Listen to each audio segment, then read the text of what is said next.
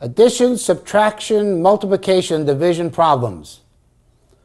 Let's look at a power press that makes can tops. And these are the can tops over here. You notice these tabs? And did you ever think, when you look at a soda can, how it's made, the tooling, the extrusion of this? But we're going to show you on the video how can tops are made.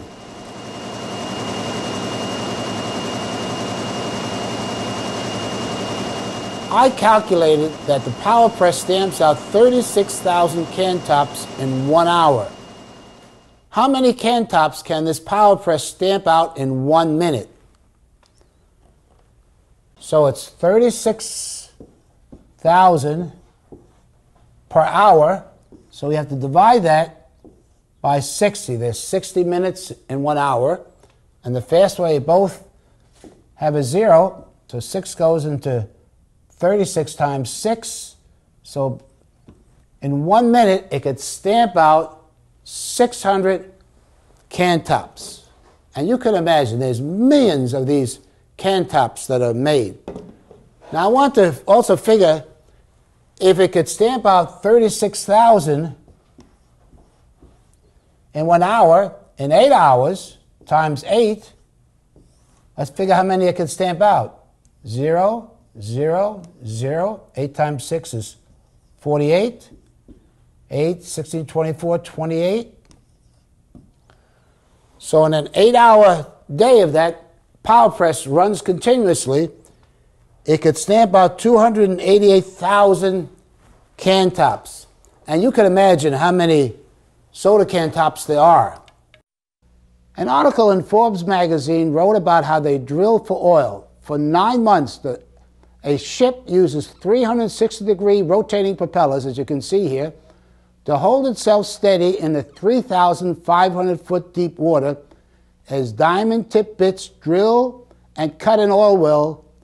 Think about it 6.5 miles down. It costs $70 million to drill that well. There's much research and development in well drilling. For this well, they use quartz transducers to measure temperature and pressure. They use gamma ray emitters to bounce atomic particles off the rock formations, you see in the bottom, to see the size, density, and flow of oil reservoirs. The information is bounced back to the ship by electromagnetic pulse or optical fiber. Now think about that. Down 6.5 miles down, the temperature is 450 degrees Fahrenheit and the pressure is 2,000 times the atmospheric pressure. Normal drill tools would melt or be crushed. To get an idea of the depth, let's compare 6.5 miles to the length of the number of football fields. So let's look at that. The depth is six and a half miles, and one mile is 5,280 feet, and one football field, that includes the end zones, is 120 yards. Now, we're dealing with feet, so we have to convert the 120 yards into feet, and 120 times 3 is 3 times 0 is 0, 3 times 2 is 6, 3 times 1 is 3. So this distance then is 360 feet, the length of one football field with the end zones. Now that goes 6.5 miles down. Now think of that. From that ship all the way down, that drill bit goes down 6.5 miles. And get a little idea, how many football fields is that? So we got to multiply 5,280 feet by 6.5 miles. Let's do that over here. 5,280 times 6.5.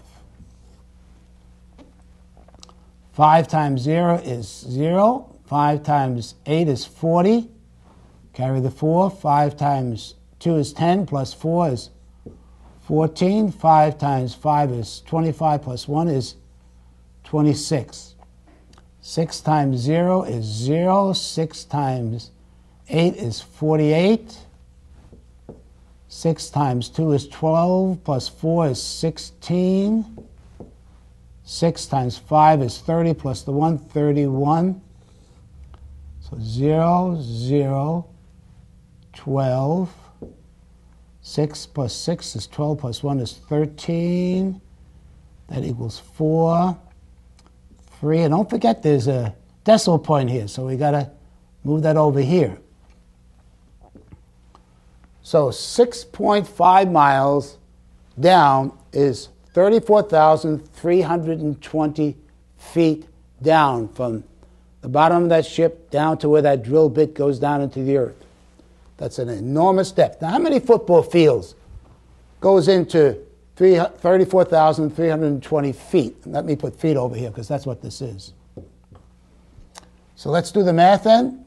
So it's 34,320 divided by 360. Remember a shortcut where you got zeros on both ends, you're just to remove them on either end, the dividend and the divisor. So how many times does 36 go into 34? Doesn't 36 goes into 343? It looks like it's nine times. There's 36 times 9. 9 times 6 is 54. 9 times 3 is 27 plus 5 is 32. 324. Let's bring over the 9 over here. We can't take 4 from 3, so have to borrow from the 4. So 4 from 13 is 9. 2 from 3 is 1. Bring down to 2. How many 36s go into 192? It looks like it's 5, so it's 36 times 5. 5 times 6 is 30. 5 times 3 is 15, plus 3 is 18, so this would be 180. 0 from 2 is 2. 8 from 9 is 1. Bring down, we don't have any more, do we? So it's, it would, that would be 5. So if you could envision a 95 football fields from the bottom of that ship down to where that drill bit is into that Gulf floor. But you know, I want you to be aware of technologies. There's a tremendous amount of science and engineering that goes into oil field work. And as I told you earlier, while company does a lot of that kind of work, not only do they go straight down and drill down here, but they have now technology that they can do directional drilling. They do what they know as horizontal drilling. And as it's drilled, they're looking for oil. If oil is over here, they, they direct the, the drill to go where the oil is.